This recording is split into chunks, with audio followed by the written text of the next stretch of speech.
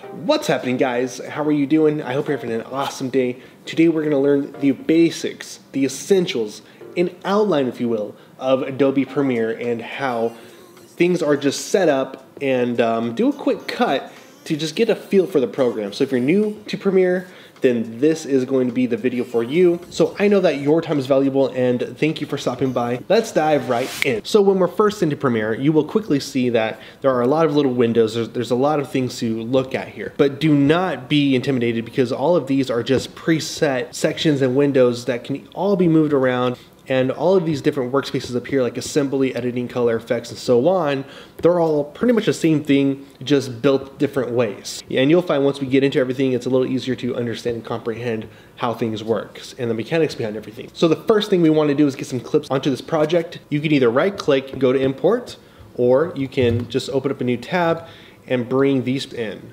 So I'm gonna click and drag them, drop them right into the project, and here they are. So when we import the files, You'll either have this view where these thumbnails are that you can hover over and quickly preview the clips, or you might see the detail pane. The detail pane is obviously the details, but it gives you more metadata like the frame rates, duration of the whole video, and then you'll also have your resolutions too, so you can see what's 4K, what's 1080, what's whatever resolutions that you're working with in your project. Now I'm gonna go back to the more visually appealing way, the icon view. What we need to do is essentially move these clips onto a functioning timeline. However, if we visit the timeline, there are no sequences. So we have to create a sequence.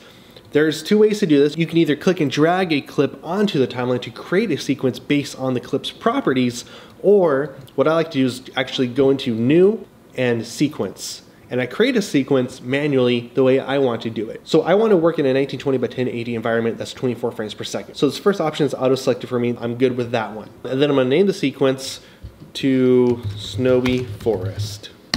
Hit OK. Now the timeline is populated with the sequence. The sequence is going to be essentially the map. This is where you're going to spend all your time working on the clips as far as cutting and um, puzzling them together. Now that we're at this step, we have a good foundation to start building on. What we need to do now is select a clip to get started. Say I want to start with the horse clip up here, double click it to bring it into the source monitor. The source monitor is more of a preview of the clips you're processing through your workflow to place on the timeline. That'll make a little more sense here in a second, but uh, this is where I'm gonna set my ins and outs. Ins and outs as far as the parts that I don't want to include when I'm moving it to the timeline. So for example, if I want to trim off just the beginning of this clip, maybe it took a little too long for the horse to uh, get down to the snow. Maybe I want to start it right about here. I can either click the mark in bracket or press I.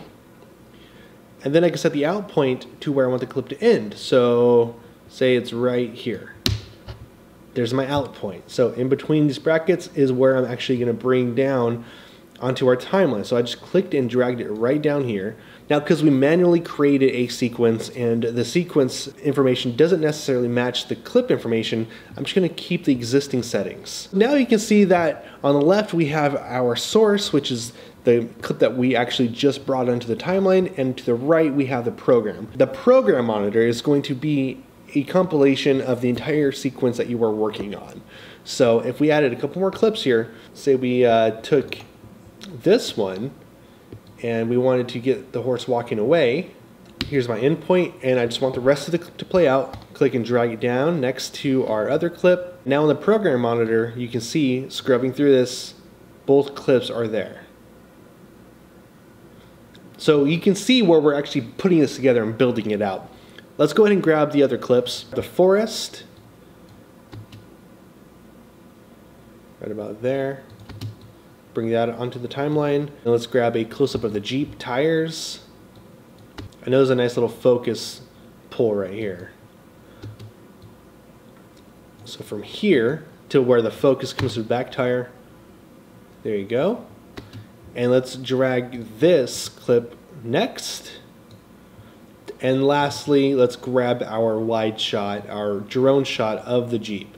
Now there's a little turn right here that I feel like is a little disruptive to the to the clip. So I really do want to trim this one up in a way right when the camera starts to pan. That's where I want to uh, move over. So right about there. Now let's drag this onto the sequence and we can see here we have a little composition. Now the last clip. This clip right here is actually the same one that's on the, the source monitor. The reason why it's so zoomed in is because this is actually a 4K clip. Now the rest of the clips that we've been working on are 1920 by 1080, while this one's 4K. It's four times the resolution, so that translates to two times zoomed in. What we want to do is make sure this clip is selected, come up to our source, and select this, these little double uh, chevron looking arrows, go down to effect controls, make sure it's selected in here, there we go.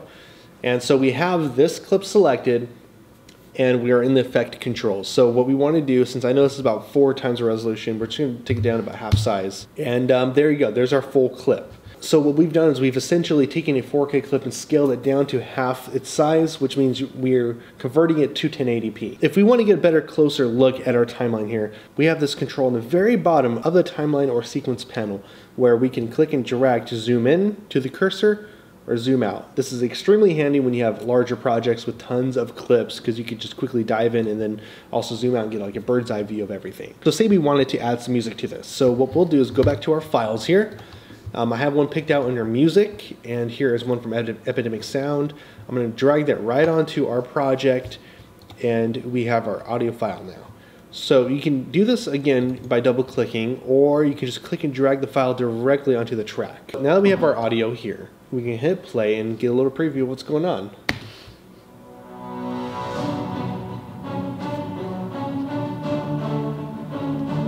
Okay, as you can see, this is a pretty long clip. We do want to cut it down. So what we'll do is trim it back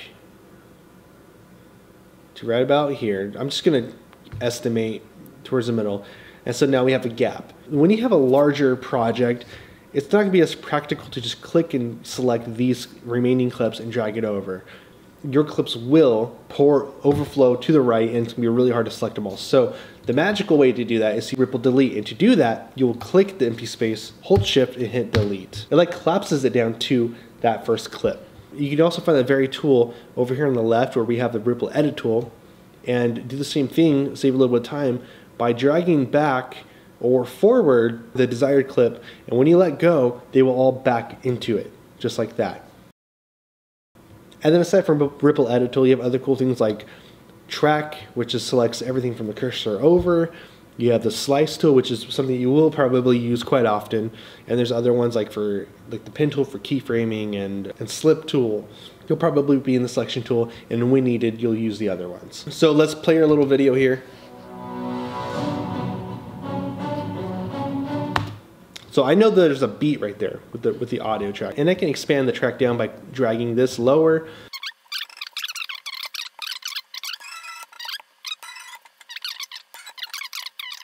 And there's a pretty rough cut. So let's play it back from the top and see what exactly happens here.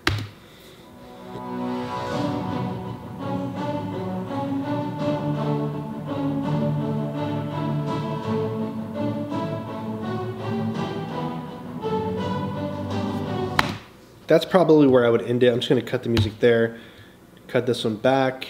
I feel like it's really long, but this is just a demonstration. So I'm gonna delete the rest of that audio just for the sake of keeping this short. So the graphics is what's gonna give us a nice title, a little overlay, something to caption or title this video. Up in the workspaces here, we're gonna go to graphics. And then you'll see the workstation adjusts a little bit here where um, where the graphics tab opens up and let's find ourselves a nice little intro. So I found it right here, Ingle, Pre Ingle Presents, Ingold Presents.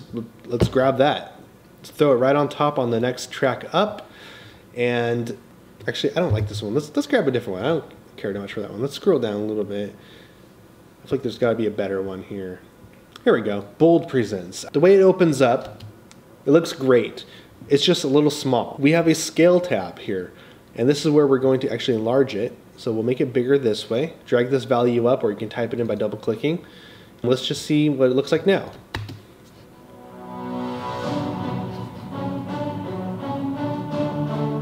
Okay, that's pretty cool. Let's tr trim off the end so it lines up with the next clip right on the beat. There we go. And obviously we don't want it to say presents change that here. You will be presented with a whole slew of new options. Don't worry, they'll all have their own role and you don't have to adjust each one of them. um, all we're going to look at right now is the actual text itself. So to change the text, double click it on the program monitor. Its name is Snowy Forest. And there we have it.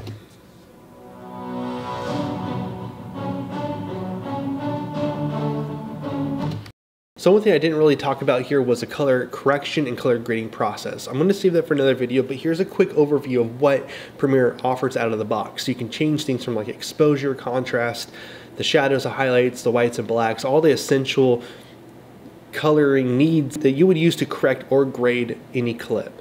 You can even go as far as targeting specific color on the overall image and shifting it to whatever you like.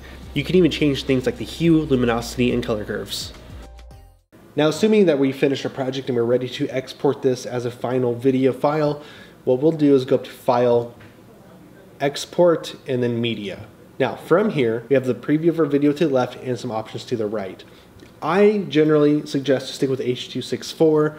You have a lot of different options here, but to make it easy, just stick with H.264. You'll probably be happy with the results. That's recommended if you don't really know where to start with this, but if you want a good export, go with H.264.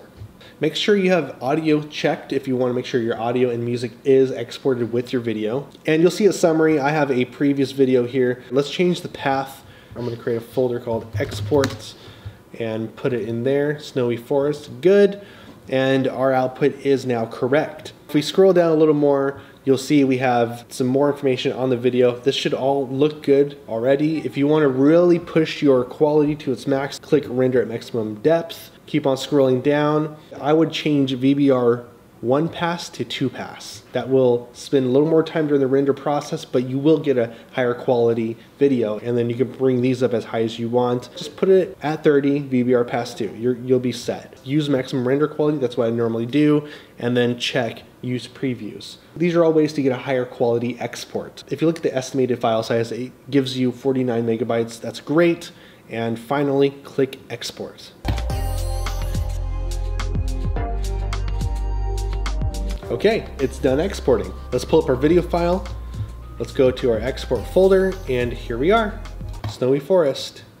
Let's bring it down here, and there it is.